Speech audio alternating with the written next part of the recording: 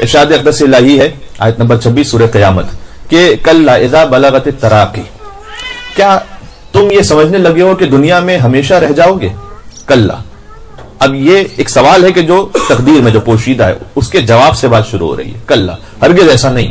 یہ جو اگر سمجھنے لگے ہو کہ دنیا میں ہمیشہ رہ جاؤ گے، تو کل ہرگز ایسا نہیں۔ اذا بلغت تراقی یہ بڑی ایک ایک طرح سے وحشت ناک اصطلاح بھی ہے کہ جب موت تمہارے گلے کی ہڈی تک پہنچ جائے گی۔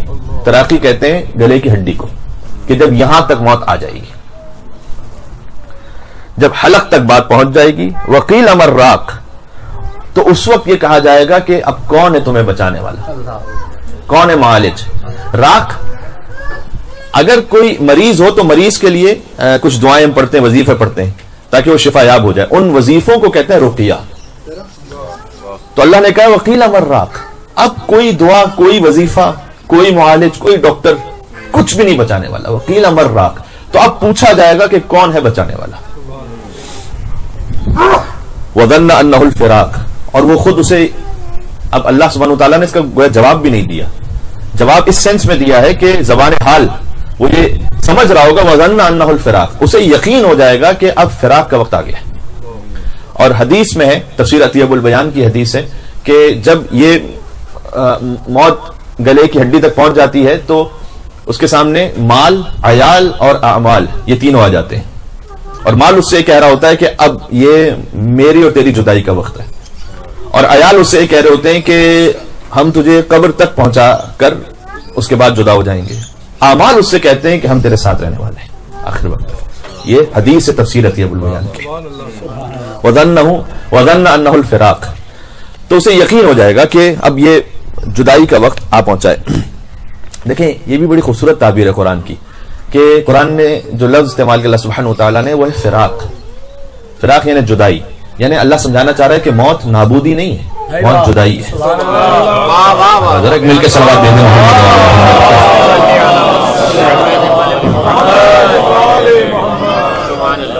ختم نہیں ہو رہے جدا ہو رہے۔ ایک اور سفر پہ جا رہے ہیں کہ جو اکیلے سفر ہے جدائی کا سفر۔ وزن الفراق۔ ولطفت ساق بساق اب اس کی شدت کو بیان کیا گیا ہے کہ جب پنڈلیاں، گوشت کا یہ حصہ، یہ ایک پنڈلی دوسری پنڈلی سے جڑ جائے گی۔ الا رب کا یوم المساق۔ تو بس وہ آپ کے رب کی طرف چلنے کا دن ہوگا۔ ولا صدقا ولا صلى تو بس نہ وہ کسی شے کی جو اللہ کی طرف سے نازل ہوتی تھی تصدیق کرتا تھا، نہ ہی نماز پڑھتا تھا۔ اس کی شان نزول میں ہے کہ یہ ابو جہل کے لیے نازل ہوئی۔ اور ابو جہل کی بدبختی کو بیان کرنے کے لیے، البتہ یہ کہ جب بھی شان نزول اس قسم کا ہو تو یہ محدودیت نہیں ہوتی اس میں۔ وسعت ہے اس میں۔ ایک، اس کا مصداق ابو جہل ہے یا ابو لہب ہے۔ تو نہ وہ تصدیق کرتا تھا جو اللہ کی طرف سے نازل ہو رہا تھا اس کی، اور نہ ہی نماز پڑھنے والا تھا۔ یہ فوراً تصدیق کے ساتھ لا صدقہ ولا صلی یہ اس بات کی نشانی ہے کہ خدا متعال کی تصدیق کے لیے جو پہلی اور بنیادی ترین شہ ہے وہ نماز ہے۔ کیونکہ تصدیق کے ساتھ جو لفظ استعمال کیا گیا وہ نماز کا استعمال کیا گیا۔ کہ اگر کوئی اللہ سبحانہ مطالعہ کی تصدیق کرنا چاہتا ہے تو جو بنیادی ترین اور اولین شہ ہے وہ ہے کہ نماز پڑھے۔ اس خاطر ایک حدیث میں بیان کیا گیا ہے کہ من ترک الصلاۃ متعمدا فقط کفر۔ یہ تفسیر مخزر العرفان کی حدیث ہے کہ جو جان بوجھ کر نماز ترک کرنے کا عادی ہو جائے فقط کفر تو وہ کافر ہی ہو جاتا ہے۔ ایک روایت کا مفہوم اس طرح سے ہے کہ حضور کے پاس کچھ اصحاب تشریف لائے، سرکار ختمی مرتبہ کی ذات پر ایک آواز ملن اللہم صلی اللہ علیہ محمد۔ والے محمد اور انہوں نے سوال کیا کہ یا رسول اللہ، ہمیں بتائیے گا کہ گناہ کبیرہ کون سے یہ میری اصطلاح ہے۔ یعنی بہت بڑے بڑے گناہ کون سے ہیں کہ ترتیب بار بیان فرمائی تو حضور نے پہلا کہا، شرک ہے، کفر ہے۔ والدین کی کہ بے احترامی ہے اور اس طرح سے کرتے کرتے قطع رحمی ہے، یہ حضور بیان کرتے گئے۔ تو تقریباً نو دس حضور نے بیان فرمائے تو انہوں نے تعجب سوال کیا کہ یا رسول اللہ ہم ایکسپیکٹ کر رہے تھے کہ آپ کفر اور شرک کے بعد نماز ترک کرنے کو بیان کریں گے۔ تو آپ نے نماز ترک کرنے کو اس میں بیان نہیں کیا۔ تو حضور نے جواب دیا کہ میں نے کفر بیان تو کر دیا۔ میں نے کفر بیان تو کر دیا۔ یعنی حضور نے جو تارک و سلاد ہے، متعمدن، عمدن، اسے کفر سے بیان کیا کہ اتنی شدت ہے اس میں۔ اور یہاں قرآن کریم میں بھی فرمایا کہ وہ تصدیق کرنے والا نہیں تھا جو اللہ کی جانب سے نازل ہو رہا تھا اور لہذا نماز پڑھنے والا بھی نہیں تھا۔ آیت نمبر بتیس ولیکن کذب و طول جبکہ وہ تکزیب کر رہا تھا اور منہ پھیر لیتا تھا، جو اللہ کی جانب سے پیغام آتا تھا، منہ پھیر لیتا تھا۔ اچھا اب یہ موت کی وہ کیفیت ہے، ظاہر ہے کہ جو ایک بد عمل کے لیے بیان کی جا رہی ہے۔ ورنہ بہار و انوار جلد نمبر چھ میں صادق علی محمد کی حدیث موجود ہے، مولانا نے فرمایا، اللہم صلی علی محمد و علی محمد۔ کہ مومن دنیا سے ایسے جائے گا جیسے کسی بہترین خوشبو کا استشمام کر رہا ہو۔ اس لطافت کے ساتھ مومن کی روح قبض ہو جائے وہ مومن کے جو ان باتوں کو جو بیان کیا جا رہا ہے اس قرآن کے مطابق زندگی گزارنے والا ہے تصدیق کرنے والا ہے نماز کا پابند ہے۔ اور مومن کا مطلب ہے کہ ظاہر ہے سب سے پہلے تو عقیدہ درست ہے اس کا۔ فرمایا کہ ایسے وہ دنیا سے چلا جائے گا جیسے خوشبو کو استشمام کر رہا ہو۔ یہ حدیث میں۔ ثم ذهب الى اهله يتمتع. یہ بھی جب بظاہر ابو جہل کے لیے کہا جا رہا ہے کہ جب ہم کہتے تھے کہ تصدیق کرو آیات الہی کی تو وہ تکذیب کرتا تھا، منہ پھیر لیتا تھا اور اپنے اہل و عیال کی طرف بڑے اکڑ کے جاتا تھا کہ میں دیکھ لوں گا جو ہوتا ہے۔ تو اس غرور اور تکبر کا اللہ نے جواب دیا ہے دو آیتوں میں۔ دو آیتوں میں چار الفاظ تکرار ہو رہے ہیں۔ اولا لکف اولا، تو افسوس ہے اس کے حال پر اور افسوس ہے۔ ثم اولا لکف اولا، تو حیف ہے اس کے حال پر، صد حیف۔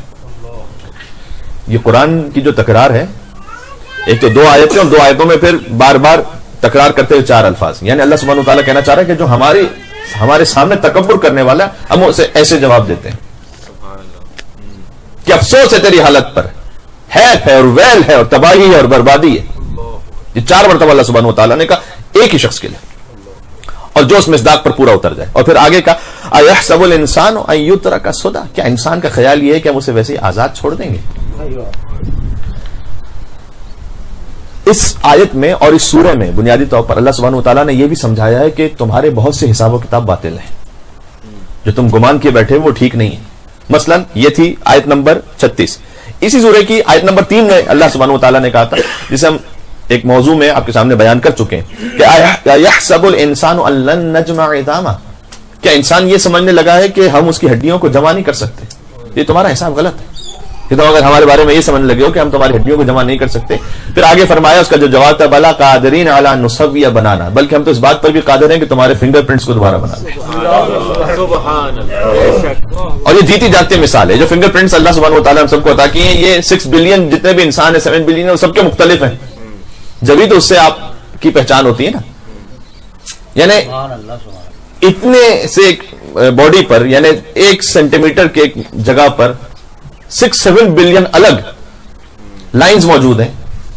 اور اس میں یوزلی کہا جاتا ہے کہ اگر مثلا فرض کی یہاں پر کوئی کٹ لگ جائے یا کوئی جل جائے تو جو دوبارہ کھلائے گی وہ ویسی آئے گی۔ جبھی تو وہ پہچان ہے آپ کی ہمیشہ کے لیے۔ یعنی فرض کیجیے کہ ورنہ تو پھر بہت آسان تھا کہ کوئی کٹ لگا دے گا کہ دوسری لائن آ جائے۔ نہ نہ وہی لائن آئے گی۔ تو اللہ سبحانہ و تعالیٰ نے جواب دیا ہے کہ تم یہ سمجھ رہے ہو کہ ہم ہڈیوں کو جمع نہیں کر سکتے۔ بلا قادرین اعلیٰ نصویہ بنانا۔ ہم تو اس بات پر قادر ہیں کہ تمہارے فنگر پرنٹس کو دوبارہ بنا لیں۔ دیکھ لو، دنیا میں مثال موجود ہے۔ کر سکتے ہیں کام۔ تو تمہاری ہڈیوں کو کیوں نہیں جمع کر سکتے؟ یہاں پر بھی اللہ نے کہا، کیا تم حساب کرنے لگے ہو ایسا کہ ہم نے تمہیں بے سبب خل کر دیا تھا؟ آزاد چھوڑ دیں گے ہم۔ علم یا نطفتن میں منی یمنا تو کیا وہ اس قرآن کا لفظ ہے، اس منی کا قطرہ نہیں تھا کہ جو رحم میں پرورش پا رہا تھا۔ وہاں سے ہم نے اس کی پرورش کا آغاز کیا تھا، تو کیا وہ ایسا نہیں تھا؟ ثم مکانا اللہ قطن اس کے بعد لوتھڑا بنا۔ فخلق کا پھر ہم نے اس کو خلق کیا، فسوا، پھر بہترین بنایا۔ یہ اللہ سبحانہ وتعالیٰ کہہ رہا ہے کہ جب ہم ایک مرتبہ اس پروسیس سے گزار سکتے دوبارہ کیوں نہیں کر سکتے؟ کر سکتے آخری دعا ہے، فجعل منه الزوجين الذكر والانثى اس کے بعد ہم نے اس کو پیر میں بنایا، مرد اور عورت کے۔ الیس ذلك بقادر على ان يحيي الموتى کیا یہ سب بھی تمہیں اس بات پر نہیں سمجھاتا کہ ہم قدرت رکھتے ہیں کہ مردے کو پھر زندہ کرتے ہیں؟ کہ اب بھی تمہیں اس بات کی سمجھ نہیں آتی کیا؟ یہ پندرہ آیتیں ہو گئی۔ اب اور ہمارے کہ اس کا ترجمہ ہی فقط کافی ہے کہ انسان اگر اس سے ہدایت حاصل کرنا چاہے۔ اس سورہ کا جو آغاز ہے وہ قیامت کی قسم کے ساتھ ہے۔ لا اقسم بیوم القیامہ۔ میں قسم کھاتا ہوں قیامت کے دن کی۔ اور اس کا جو اختتام ہے وہ اس بات پر ہے کہ خدا قدرت رکھتا ہے کہ تمہارے مردہ جسم کو پھر زندہ کرے۔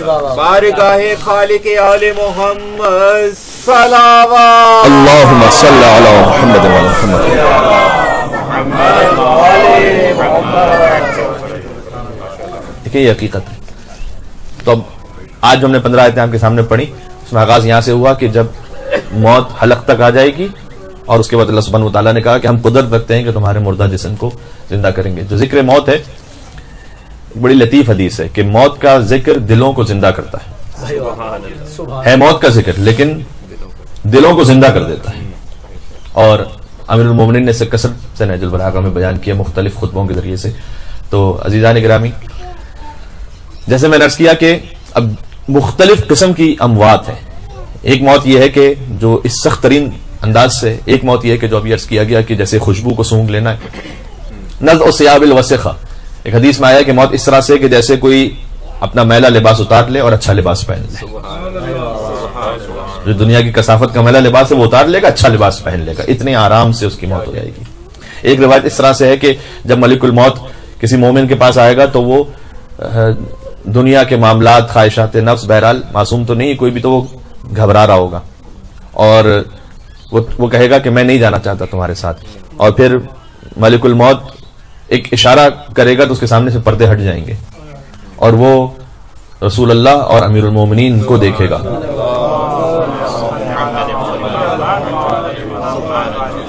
وہ لذت دیدار روحانی طور پر اتنا پرکیف ہوگا وہ منظر۔ یہ میں حدیث سنا رہا ہوں آپ کو۔ خطابت نہیں حدیث کا جملہ یہ ہے کہ وہ کہے گا ملک الموت سے کہ اب مجھے پرواہ نہیں ہے دنیا کی جلدی لے چلو مجھے۔ اب میں مطمئن ہو گیا مجھے جلدی لے چلو تو جیسے ہی وہ کہے گا کہ اب مجھے جلدی لے چلو تو ملک الموت اسے دیکھ کر اس آیت کو پڑھے گا کہ یا ایتو النفس المطمئن ارجعی الى ربک راضیتا مرضیہ اے اطمینان والے نفس اب تو پلٹ اپنے رب کی بارگاہ میں۔ اس عالم میں کہ تو اپنے رب سے راضی ہے راضیتا مرضیہ اور تیرا رب تجھ سے راضی ہے۔ اس آیت کا جو عالی ترین مصداق ہے وہ سرکاری ختمی مرتبت ہیں اور اہل بیت اطہار ہیں اور امام حسین علیہ السلام ہیں۔ لیکن اس کا ایک ادنا مصداق محبان امام حسین علیہ السلام بھی کیونکہ ملک الموت اس کے لیے آیت پڑے گا کہ اے اطمینان والے نفس، اب تیرا نفس مطمئن ہو گیا، اب چلو، اللہ کی بارگاہ میں۔ یا یہ تو نفس المطمئن ارجع الى ربک راضیۃ مرضیہ۔ موت جب صاحب کردار سے ٹکراتی ہے، وہ تو مرتا نہیں، موت ہی مر جاتی ہے۔ اور یہ تو ذریعہ ہے ملاقات علی کا، ورنہ محمد حیدر کے غلاموں کو کہا۔